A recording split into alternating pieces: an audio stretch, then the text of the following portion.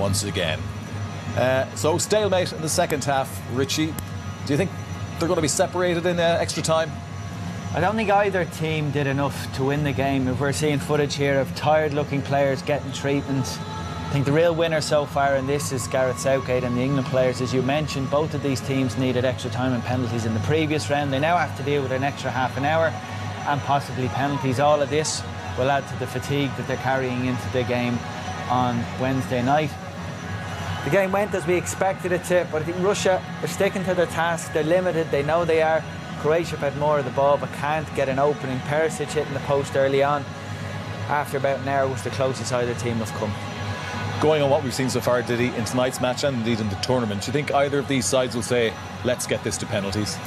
Uh, Russia will take it. Uh, I think the more likely will be Croatia because they have all the ball.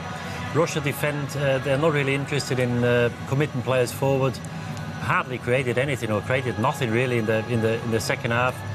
If you offer Russia a penalty shootout, I'm sure they'll take it. I'm not sure about Croatia because if there was a goal, I think it'll be Croatia uh, because I don't know how Russia is going to score uh, if you don't commit players forward. Okay, but we know when players get tired, mistakes can be made. And Damien, you've experience of playing in extra time uh, in the World Cup. I mean, what's the fatigue factor like for these players? Well, everyone thinks legs, but it's it's your mental side as well. You could see from the last two corners there, Russia totally switched off. They were daydreaming, and Croatia nearly got in on it.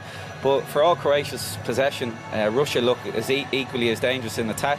But it's going to be harder for Croatia now. Uh, Russia have five midfielders on with Gazinski and Erokhin. So, listen, it's going to be something special or a horrendous mistake because they do look dead on their feet.